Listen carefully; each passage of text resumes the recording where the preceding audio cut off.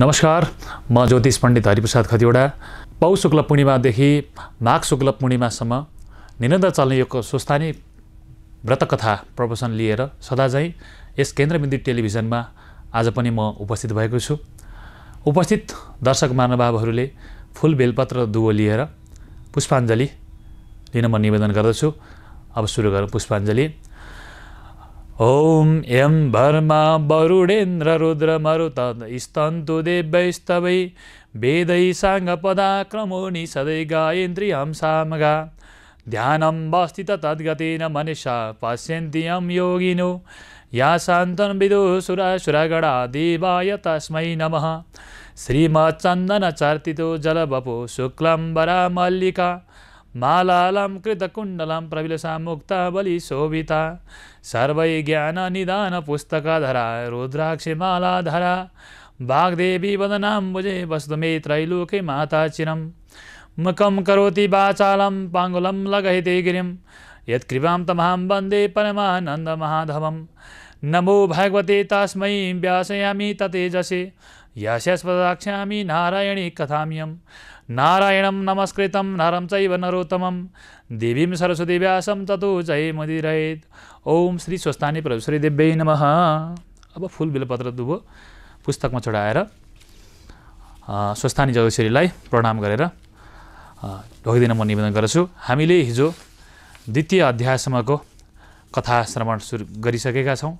आज तृतीय अध्यायको कथा प्रारम्भ गर्दैछौँ। श्री कुमारजी आज्ञा गर्नुहुन्छ हे अगस्त्य मुनि महादेवको विवाह सतीदेवीको मृत्यु त्यसपछि उत्पन्न अवस्थाको सबै बताउँछु। एकचित भई सुन्नुहोस्। अष्ट प्रजापति नाम गरेका आठ प्रजापति थिए। तिनीहरूमध्ये दक्ष प्रजापति भन्ने अत्यन्तै प्रतापी ज्येष्ठ थिए। अष्ट प्रजापतिमध्ये सबैभन्दा जेठा दक्ष प्रजापति थिए। उनकी बिरणी नाम गरेकी स्त्री थिइन्। ब्रह्माजीको आज्ञाले दक्ष प्रजापतिले कठोर तपस्या गर्ने काम गर्नुभयो। जसबाट आदिशक्ति महामाया दुर्गादेवी प्रसन्न हुनुभई। तिनै दक्ष प्रजातिको घरमा पुत्री भएर जन्मने वरदान दिनुभयो। त्यसको केही समयपछि बिरणी गर्भिणी भई मास पूर्ण भयो। भागवती दुर्गा स्वयं पुत्री भएर दक्षको घरमा जन्म लिनुभयो। कस्ती पुत्री भने हजार सूर्यको जस्तो तेज भएकी बत्तिस लक्षणले युक्त भएकी पद्मपत्र जस्तो नेत्र भएकी रक्तवर्ण अरुणाद भए जस्तो परम सुन्दरी। पुत्री जन्मेकोदेखि दक्ष प्रजातले मनमा आनन्द आनन्द लिए आफ्ना पुरोहित गुरु वशिष्ठ आदि ऋषिहरूलाई ज्योतिषहरूलाई बोलाएर विधिपूर्वक निवारण गर्ने काम गर्नुभयो। वशिष्ठ आदि ज्योतिषी ऋषिहरूले ज्योतिषशास्त्रको विचार गरी ती बालिकाको नाम सतीदेवी राख्ने काम गर्नुभयो र यिनै तिनै लोकको प्रख्यात हुनेछन्। भन्ने काम गर्नुभयो दक्ष प्रजापतिले पनि। ऋषिहरूलाई श्रद्धापूर्वक दक्षिणा भोजन गराई बिदा दिने काम गर्नुभयो त्यस पछाडि त्यसपछि ऋषिहरू आफ्ना आफ्ना आश्रममा जाने जाने काम गर्नुभयो हे अगस्त्य मुनि यो कथा लामो भएकाले कुरा वर्णन गरी साथ दिने छैन। त्यसैले तिमीलाई म संक्षेपमा मात्रै बताउँछु। यस्तै तरहले सतदेवीको जन्म भएपछि दक्ष प्रजातको स्त्री बिरणीका गर्भदेखि तेत्तिस कोटी कन्याले जन्म लिए। ती हेर तेत्तिस कोटी कन्यालाई दक्ष प्रजापतिले बिरणीको यथाशक्ति पालन पोषण गरी हुर्काएर बढाउने काम गरे। अगस्त्य मुनि प्रश्न गर्छन् हे कुमारजी दक्ष प्रजातिका तेत्तिस कोटी कन्या देवताहरूको विवाह कस्ता तरले भयो? त्यो पनि आज्ञा होस्। मुनिको प्रश्न सुनेर प्रसन्न भई कुमारजी आज्ञा गर्नुहुन्छ हे अगस्त्य मुनि। स्वर्गका सम्पूर्ण देवता ऋषि यक्ष गन्धर्व किन्नर्व अष्ट वसु दस दिक्पाल आदि मिलेर सभा बस्ने काम गर्नुभयो। हामीहरूका स्त्रीहरू पनि छैनन्। दक्ष प्रजापतिका तेत्तिस कोटी कन्या विवाह गरौँ। कन्या माग्न दक्षपतिका कसैलाई पठाउँ भनी छलफल गर्ने काम गर्नुभयो। सबैले यस कार्यका लागि नारद मुनिसँग सक्षम हुने ठहर गरेर त्यसमा उनलाई नै सो कार्यमा पठाउने निदो निदो भयो। त्यसपछि नारद मुनिलाई बोलाएर सबैले भने हे नारद मुनि तपाईँ दक्ष प्रजाति कहाँ गई? उनका कन्याहरू हामीलाई दिन्छन् कि मागे आउनुहोस्। देवताहरूको वचन सुनि नारद मुनि हवस् भनी दक्ष प्रजाति कहाँ घरमा जाने काम गर्नुभयो। दक्ष प्रजातिले नारद आएकोदेखि भेटी चढाएर शिष्टाचार गर्दै आसनमा बसाउनुभयो त्यसपछि दक्ष प्रजातिले सोध्नुभयो हेर नारद मुनि हजुर के कति कामले मेरो घरमा पाल्नुभयो? नारद मुनिले आफ्नो आफूलाई देवताहरूले पठाएको कुरा वृत्तान्त वर्णन गर्ने काम गर्नुभयो। नारद भन्नुहुन्छ तिम तिम्रा तेत्तिस कोटी कन्या तेत्तिस कोटी देवतालाई दिने काम देवहु देवताहरूले आपसमा सल्लाह गरेर तिम्रा पुत्री माग्न मलाई पठाएका हुन् नारद मुनिले भनेको सुनि दक्ष प्रजाति खुसी भाइ भन्न लागे हे नारद मुनि राम्रो कुरा गर्नुभयो। म धन्य रहेछु तपाईँका यस अमृतरूपी वचनले मेरा तेत्तिस कोटी कन्या देवताहरूलाई कन्यादान दिएँ। मेरी सबैभन्दा जेठी छोरी सत्य देवी चाहिँ दिने छैन किनभने मेरा पुत्र छैनन्। सम्पत्तिको रक्षा कसले गरिदेला अरू तेत्तिस कोटी कन्या देवताहरूलाई जहिले भन्लान्। तपाईँ जस जसलाई दिन भन्नुहोला त्यस त्यसलाई दिई पठाउँला।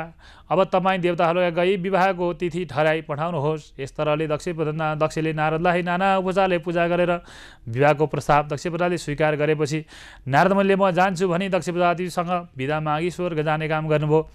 देवताका माझ पुगी दक्ष प्रजातिसित भएका कुरा वृत्तान्त वर्णन गर्दै सतीदेवी बाहेक दक्ष प्रजातिका अन्य तेत्तिस कोटी कन्याहरू तेत्तिस कोटी देवतालाई दिएको बताउनु भयो। नारदले भने हे देवता हो अब विवाहको दिन। ठराई दक्षको घरमा जानुहोस्। नारदमले यस्तो कुरा भनेको सुनि देवताहरू खुसी भई धन्य धन्य नारद मुनि भने विवाहको सरसामग्री तयार गर्न लागे। उपयुक्त लग्न जुराई विवाह गर्ने आउने जानकारी दिएर पुनः नारदमुनिलाई पठाए। नारद आएको देखि दक्ष प्रजापतिले देवताहरूले खबर सोधे। उनको स्वागत सत्कार गरे। नारदले देवताहरूको विवाहका लागि आउने सूचना दिँदै तयारी अवस्थामा बस्न भने त्यसपछि नारद आफ्नो मार्गमा हिँडे दक्ष प्रजापति विवाहको तयारीमा लागे। निश्चित लग्नमा देवताहरू आए दक्ष प्रजातिका देवताहरू आएको देखि मनमा आनन्द लिँदै नाना मङ्गल यात्रा गरी। आफ्ना मर्यादाले सतीदेवी बाहेकका तेत्तिस कोटी कन्या तेत्तिस कोटी देवतालाई कन्यादान गरिदिए। त्यसपछि देवताहरूले कन्यादान पाई आफ्ना आफ्ना पत्नी लिएर आफ्ना आफ्ना आश्रममा गए। यो वृत्तान्त कैलाश पर्वतमा रहनुभएका श्री महादेवले चाल पाउनुभयो। शिवजीले विचार गर्नुभयो कि यी देवताहरूले मलाई एक वचन पनि नसोधी। मलाई वास्ता पनि नगरी आफू आफूले मात्र कन्यादान लिएछन्। कैलाशको अधिपति त म हुँ। मेरा स्त्री पनि छैनन्। अब मलाई कन्या कसले देला? यस प्रकारले ध्यान दृष्टिले विचार गरी हेर्दा दक्ष प्रजापतिका तेत्तिस कोटी कन्यामध्येका सबैभन्दा जेठी सतीदेवी बाँकी रहेकी रहेछन्। देवताहरूले मेरो मर्यादा राखेका रहेछन्। अब ती कन्या माग्ने दक्ष प्रजातिलाई कसलाई पठाउँ कि म आफै जाउँ भन्ने विचार गरी आफै जानुभयो? जब महादेव दक्ष प्रजातिको घर छेउमा पुग्नुभयो तब तब महादेव आएको टाढेबाट दक्षिणले भन्नला हे प्रिय त्यो आएको महादेव हो? के भन्न आएछ? यसरी विरणसी दक्षले भने महादेव दक्षको घर मुनि पुगी बोलाउँदा दक्षपालले झालबाट भने माथि आऊ। जब महादेव दक्षको घरमै पुग्नुभयो त्यसपछि दक्षले अपमानजनक शब्द उच्चारण गर्दै श्री महादेवलाई भन्न लागे त मेरा घरमा के कामले आइस? कसरी यसरी होला? शिवजीले दक्षको प्रश्न गर्दा महादेव आगे गर्नुहुन्छ हे दक्ष प्रजापति मैले तिमीलाई घरमा आउनुपर्ने अरू काम केही थिएन। तिमीले कृपा गर्नाले तेत्तिस कोटी देवताहरूले कन्यादान पाए उद्धार भए। सतीदेवी बाँकी रहेकी छन् योग्य पनि छु। ती कन्या मलाई कृपा गर यति महादेवले आज्ञा गरेको सुनि दक्ष प्रजापले कुरोले भने हे पापिष्ट महादेव मेरी कन्या सतीदेवी तेरा लागि यसरी कसरी योग्य होली? त जस्तो त कस्तो भने मसानको खरानी घसी सर्पको गना लगाई बाघको छाला ओढी हिँड्ने मसानमा बास गर्ने बिसबाङ धतुरो खाने दिगम्बर देख्दाको मन नराम्रो तैँले मेरो अगाडि यस्ता आ यस्ता कुरा गरिस् जा मेरो घरमा नबस भनी पाखुरामा समाति। उठाए। महादेवले यस्तो तरहसँग दक्ष प्रजापतिले आफूलाई निन्दा गरी श्रुत वचन गरेको सुनि बहुत मनमा दुखाई। मन दुखाई बाहिर आई मनमा विचार गर्नुभयो नदिने भए दिन्न भने जा भइजान्थ्यो। यस्तो निन्दा गर्नु पर्दैन थियो अब कता जाउँ ती कन्या मलाई कसले पारिदेला? भन्ने चिन्ता गरी विचार गर्नुभयो त्यसपछि विष्णुलाई सम्झाउनुभयो श्री महादेवले सम्झना गर्ने बित्तिकै भगवान् विष्णु सतर्क हुनुभयो। सतर्क हुनु त्यसपछि श्री महादेव विष्णु भगवान् आएको स्थानमा जानु भएर महादेव आएकोदेखि भगवान् विष्णुले झट्ट उठी आधार गरी आसन बसाएर आए गर्नुभयो। हे ईश्वर के कामले आज मेरो घरमा परिश्रम गर्नुभयो? श्री महादेवले आफूले सतीदेवी माग्न जाँदा दक्ष प्रजापति नाना तरले निन्दा गरेको विष्णुसँग बताउनुभयो। साथै दक्षले गाली गरी पाखुरामा समाति लखेटेर प्रसङ्ग पनि सुनाउनु भयो श्री महादेवबाट यस्तो आज्ञा भएको सुनि विष्णुले भन्नुभयो हे सो यो काम म पार लगाउँला। चिन्ता नगरी बक्सियोस् म दक्ष प्रजाति कहाँ जान्छु। बरु नआउन्जेल हजुर यहीँ राज गर्नुहोला। यसरी भगवान् विष्णुले महादेवलाई पर्खाए आफू दक्ष प्रजातिको घरमा जानुभयो। दक्ष प्रजापतिले विष्णु आएको देखि विष्णुलाई प्रणाम गरे। त्यसपछि दक्षले विष्णुलाई माथि लगी आधार गरी आसनमा बसाले भन्न लागे हे विष्णु आज मेरो घर किन पवित्र गर्नुभयो? दक्षको कुरा सुनेर भगवान् विष्णु आगे गर्नुहुन्छ हे दक्ष प्रजापति केही माग्न आएको छु दिने भए माग्छु। नदिने भए के मागौँ? दक्ष प्रजापतिले विष्णुको कुरा सुनेर दिन्छु भन्ने बाचा गरे त्यसपछि श्री विष्णु आगे गर्नुहुन्छ हे दक्ष प्रजाति वैकुण्ठको अधिपति भएर भएर पनि मलाई मनपर्ने स्त्री नभएकी हुँदा तिम्री पुत्री सतीदेवी मलाई कन्यादान गर किनभने तिमीले कृपा गर्नाले तेत्तिस कोटी देवताहरूले तिम्रा तेत्तिस कोटी कन्याहरू पाइ आनन्द भएका छन्। अब सतीदेवी बाँकी रहेकी छन् ती कन्या मलाई कृपा गर। कृपा गर। यति श्री विष्णुले आगे गरेको दक्षले मनमा विषाद गरी हे विष्णु मेरा पुत्र छैनन्। सम्पत्तिको रक्षा गर्न राखेको यो पुत्री हो। दिने त थिइनँ के गरौँ मैले बाजामा हारेर दिनु पर्यो। ती कन्या तपाईँकी भइन्? सुदिन ठहराई कन्यादान लिनुहोस् यदि दक्ष प्रजापति भनेको सुनि श्री विष्णु हर्षित भई वैकुण्ठ जानुभयो। विष्णु आएकोदेखि महादेवले देखि आज्ञा भयो हे विष्णु तपाईँ भएको काम के भयो? यसरी श्री महादेवले आज्ञा हुँदा श्री विष्णु विधि गर्नु हे ईश्वर म गएको काम भने जस्तै भयो तर ती कन्या मलाई भनी मागे आएँ। विवाहको दिनमा तपाईँले एउटा वृद्ध सन्यासीको रूप लिई कन्यादान लिने दिने ठाउँमा आई भिक्षा माग्नु। हजुर यहाँ यस्तो अब समयमा आउनुहोस् जुन समयमा कन्यादान दिन दक्ष प्रजापति तयार। तयार भएका हुनेछन्। त्यसपछि हजुरले त्यहाँ भन्नुहोला मलाई भिक्षा नदी कन्यादान लिए त कन्यादान दिए पनि श्राप गरौँला। त्यसपछि त्यहाँ मैले भन्ने छु हे सन्यासी मेरो कन्यादानको बेला बित्न लाग्यो। कन्यादान भइसकेपछि भिसा दिउँला श्राप नगर बरु यहाँ आइबस। त्यसपछि म बसेको ठाउँमा बसाली। राखौँला दक्ष कन्यादान दिँदा उसको आँखा छली सदेवीको हा तपाईँको हातमा पारिदिउँला। यस दिन उस बेला आउनुहोला। भनी दक्ष प्रजापतिसित भएका कुराको वृत्तान्त गर्नुभयो।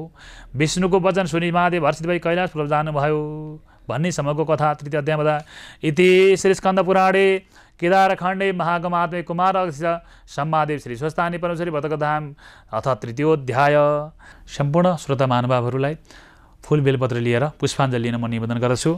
ओम उपनयन्तु मङ्गलव सकल जय मङ्गला श्रीमान दिनकर किरणमुदित नवनली दक्षिण विष्णुकाले व्रसतु प्रजन्य पृथिवी दर्शितम स्मरयतु ब्राह्मणा सन्तु पुत्रिणा सन्तु पुत्रिणा सन्तु पौत्रिणा निर्धना सदना सन्तु जीवन्तु सरदा सदम तत्रैव गङ्गा यमुना च तत्र गोदावरी सिन्धु सरस्वती च तीर्थानि सर्वाणि वसन्ति तत्र यत्र च्युतकथारपसम या कुन्दे तुषारहार धवला या या वीणा वरदण्ड मण्डितकरा या स्फीत पद्मासना या बर्माचित सङ्ग्रवेदै सदा वन्दिता सामाङ्पाति सरस्वती भगवती निषेक जाड्यपः कायेन वाचा मनसेन्द्रिर्वा बुद्ध्यात् मनोवा प्रकृति स्वाभ करोमि यद्यत सकलं परस्मै नारायणायेति समर्पयामि।